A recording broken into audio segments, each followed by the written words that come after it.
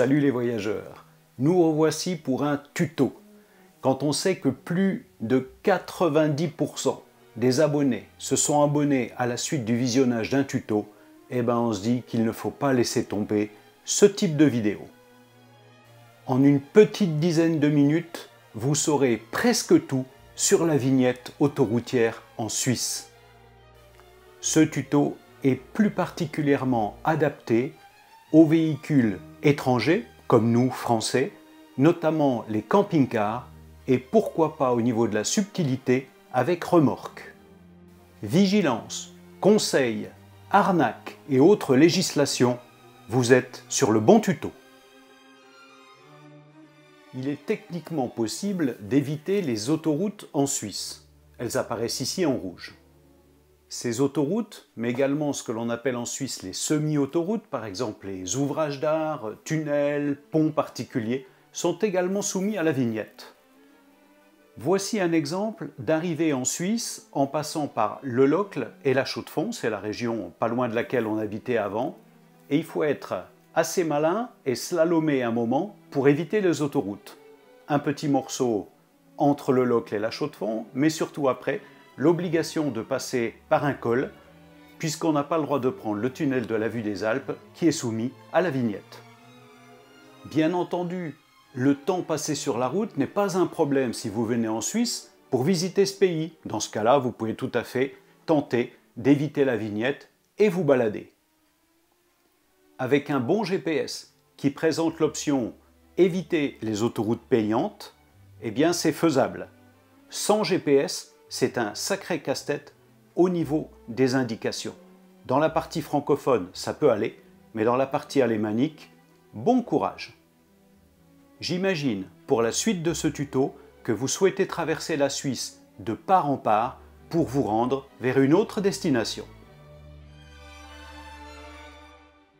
Une vignette classique, autocollante. En Suisse, ça ressemble à ça. La seule chose qui change, c'est sa couleur elle doit se coller à l'intérieur du pare-brise.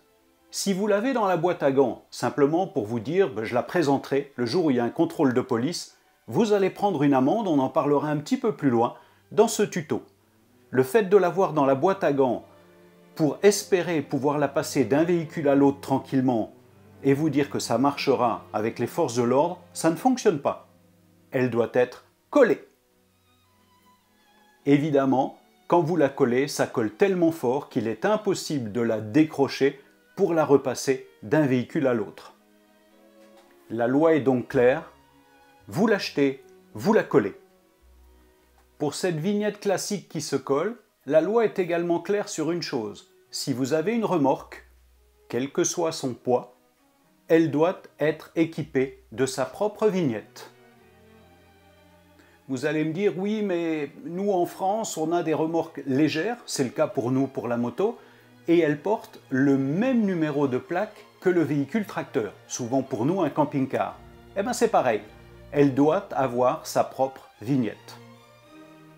Pour les amis motards, si vous souhaitez rouler en Suisse avec votre moto sur la route, donc je ne parle pas ici d'une moto qui traverse la Suisse sur une remorque et qui ne roulera pas en Suisse, mais si vous souhaitez rouler en Suisse, il vous faut également une vignette. Et le mieux, c'est de la coller à un endroit qui est à l'abri des intempéries, par exemple sous la selle. Voici à quoi ressemble l'e-vignette. Eh bien, vous n'en verrez pas souvent parce qu'en fait, il n'y a pas besoin de la mettre en place dans le véhicule. C'est tout à fait inutile si vous optez pour cette version numérique de la vignette. Comme dans le cas de la vignette classique, elle couvre l'année civile en cours. Donc par exemple, si vous l'achetez en février, elle va faire toute l'année jusqu'à décembre, plus janvier en bonus. Si jamais vous décidez d'acheter une vignette en Suisse en octobre, ben ma foi tant pis pour vous, elle fonctionnera octobre, novembre, décembre et janvier de l'année qui suit. Il y a plusieurs avantages à passer à l'e-vignette. Première chose, Rien besoin de coller sur le pare-brise. Quand on sait comment elles sont difficiles à décoller d'une année sur l'autre, c'est un avantage essentiel. Aucune justification possible si un jour vous devez remplacer votre pare-brise parce que par exemple il est fendu, puisque vous n'avez rien collé dessus, Il n'y a rien besoin de justifier. Dans le cas de l'autre vignette, la vignette classique collante, il faut pouvoir prouver que l'on a acheté une vignette et que d'autre part, il faut pouvoir prouver que vous avez fait remplacer votre pare-brise. Mais pour moi, l'avantage principal de la e-vignette, c'est que ça vous permet d'anticiper votre voyage quelques jours ou quelques mois, évidemment pendant la même année civile, où vous pensez venir en Suisse, vous l'achetez, sitôt acheté, sitôt fonctionnel. Dites-vous bien que suivant l'heure à laquelle vous allez passer la frontière, euh, c'est pas dit du tout que le bureau des douanes soit ouvert, donc ne comptez pas forcément pouvoir trouver une vignette autocollante facile à acheter si vous entrez en Suisse en dehors des heures de bureau. Pour résumer, pour un camping-car de moins de 3 tonnes 5, tout ce qui vient d'être dit sur les deux vignettes reste d'actualité et ça vaut vraiment la peine d'être équipé d'une e-vignette si vous voulez par exemple traverser la Suisse en pleine nuit. Par contre, amis camping-caristes poids lourds, je pense que je ne vous apprends rien, mais aucune des deux vignettes citées précédemment ne vous correspond. Vous devez vous acquitter d'une taxe dite sur les poids lourds, et pour cela, il y a des formulaires particuliers que vous pourrez aussi accéder par le lien que je vous ai mis en description. Euh, cette taxe, elle est relativement dissuasive, comme vous le voyez, à l'année, mais par contre, il y a des très bons aménagements pour simplement traverser la Suisse ou y passer quelques jours. Au moment de la sortie de la e-vignette, je me suis fait une fausse joie et je tiens à la partager avec vous pour que vous ne fassiez pas une erreur. On trouve souvent cette information, la vignette classique collante est liée au véhicule, l'e-vignette est liée à la plaque d'immatriculation. Et là, je me suis dit, disposant maintenant d'une remorque en France, une remorque légère, moins de 750 kg, qui présente la même plaque d'immatriculation que le camping-car, me voilà tranquille. Je prends une vignette par plaque. Pas du tout.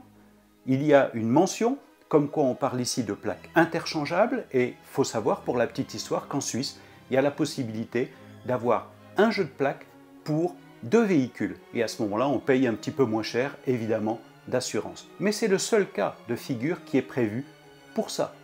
Moralité, quelle que soit votre remorque, qu'elle soit légère, hein, genre les petites remorques qu'on a pour transporter par exemple le bois ou pour emmener des choses à la déchetterie, des remorques moto, euh, des remorques cargo, etc., vous devez y apposer sa propre vignette. Donc si vous venez en Suisse avec un camping-car et une remorque derrière, vous devez avoir deux e-vignettes. Et c'est parfaitement prévu puisque, vous le verrez tout à l'heure, au moment où j'achète ma e-vignette, on peut dire si on veut équiper le véhicule et on précise un numéro de plaque. Et puis plus tard, on peut dire si on veut équiper la remorque et on peut très bien indiquer le même numéro de plaque. Une vignette traditionnelle, ça s'achète en Suisse, donc la vignette autocollante, dans les bureaux de poste, dans les stations-service et dans les bureaux de douane lorsqu'ils sont ouverts. Pour la e-vignette, ne vous faites pas avoir. Évitez systématiquement les liens ou par exemple dans une recherche Google des mots-clés i-vignette suisse, vous allez tomber en premier sur des liens dits sponsorisés. Ils sont systématiquement plus chers et on vous fait payer une sorte de service dont vous n'avez pas du tout besoin. Le mieux, c'est de l'acheter sur le site officiel. Si vous passez par les liens sponsorisés, vous allez payer en moyenne 20 à 30% de trop pour rien. Quand vous recherchez les mots-clés i-vignette suisse par exemple ici sur Google, dans les résultats de recherche, intéressez-vous à celui dans lequel on voit le blason de la Confédération helvétique. Souvent d'ailleurs, le petit intitulé qui se trouve sur sa droite est en allemand. C'est le site officiel. De toute façon, je vais vous le mettre typiquement en lien dans la description pour vous faciliter l'accès direct. Nous voici arrivés sur le site officiel. On y voit directement la distinction. Soit on part sur véhicule ou remorque de moins de 3 tonnes 5, soit on part sur un véhicule dit poids lourd, et à ce moment-là, il faut payer une redevance sur les poids lourds. je choisis maintenant véhicule de moins de 3 tonnes 5 ou remorque ou moto, au départ c'est la même chose. Ensuite j'indique s'agit d'un véhicule à moteur. Le véhicule concerné présente une plaque française. Il me reste maintenant à saisir deux fois mon numéro de plaque d'immatriculation sans espace ni tiré.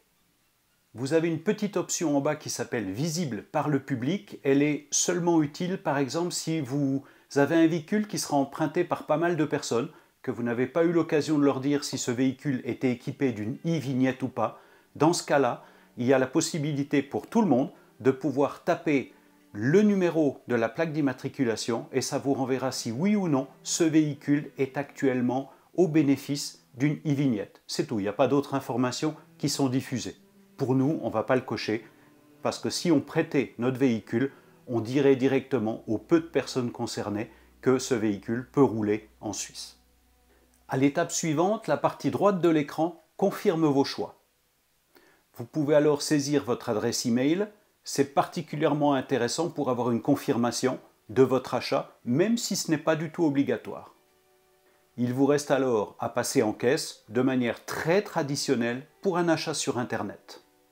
On vous confirme alors qu'il n'y aura absolument besoin d'avoir aucun justificatif dans votre véhicule. Si jamais il y a un contrôle, votre plaque sera photographiée par les forces de l'ordre et ils sauront immédiatement si vous aviez le droit de rouler sur les autoroutes.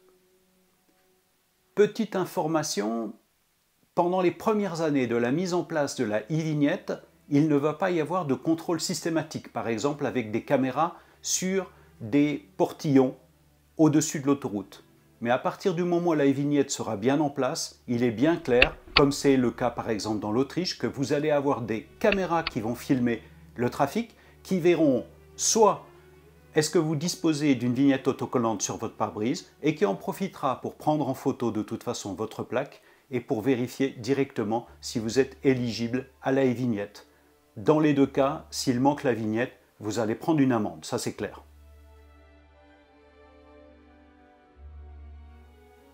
il y a trois cas bien connus de la police qui vont aboutir en général de toute façon à l'amende de 200 francs, 200 euros à l'heure où je vous parle, hein, début 2024, voire aux 200 euros plus l'achat de la vignette. Voilà les trois cas. Si vous n'avez aucune vignette valable, pas collée sur le pare-brise, pas de e-vignette, 200 francs suisses d'amende plus l'achat de la vignette à 40. Vous avez la vignette autocollante dans votre boîte à gants parce que vous espériez la transmettre à quelqu'un, ne pas la coller et en profiter pour faire des économies. C'est 200 francs d'amende et l'obligation immédiate de la coller sur le pare-brise. Autre cas classique, vous avez oublié d'acheter une vignette pour votre remorque, que ce soit une vignette autocollante ou la e-vignette. À ce moment-là, vous prenez directement la prune de 200 euros et vous achetez immédiatement la vignette à 40. Pour conclure, vous avez remarqué, on ne rentre pas ici dans le débat, est-ce qu'une vignette en Suisse ou une e-vignette à 40 francs suisses, est-ce que c'est cher pour se contenter de traverser de part en part la Suisse? Est-ce que c'est cher parce qu'il en faut une deuxième pour la remorque? On ne rentre pas ici dans le débat. Euh, nous, typiquement, quand on se promène, par exemple en France, on essaye d'éviter systématiquement les zones avec des péages, parce qu'on a le temps, on se promène. Par contre, pour la Suisse, quand on la traverse, on sait que c'est compliqué et qu'il y a un sacré slalom pour éviter les petites portions d'autoroute ou les ouvrages d'art. Au fait, je ne sais pas si vous avez été piégé comme nous, mais dans le centre de la France, il y a désormais des zones sur des routes nationales euh, sur lesquelles il y a des portiques qui vous prennent plusieurs fois en photo et qui sont capables de voir finalement votre plaque et ensuite de vous faire payer assez rapidement quelque part des petits péages. Euh, compliqué à éviter. On a essayé finalement à l'aller quand euh, à l'automne on est parti en Espagne, on a fait un détour phénoménal. Finalement au retour on les a payés, ça coûtait quelques euros et ne faites pas semblant d'avoir rien vu quelque part parce que vous risquez une centaine d'euros d'allemande pour quelques euros de péage. Donc ce serait dommage. Il faut d'ailleurs noter que notre GPS, un Garmin, eh bien à l'époque ne connaissait pas du tout ces zones de péage. Et c'est très compliqué de contourner des zones quand elles sont inconnues de votre GPS.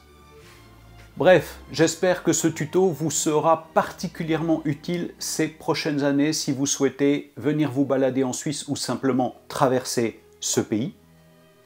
N'hésitez surtout pas à poser toutes les questions utiles en commentaire. Nous avons passé une trentaine d'années en Suisse, on connaît bien ce sujet, ou la Suisse en général. Alors, à bientôt